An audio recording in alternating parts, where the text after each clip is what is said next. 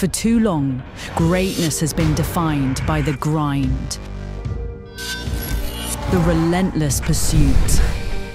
Pain is power. Struggle is strength. Play has no place in sport. But at Puma, we've always done things differently.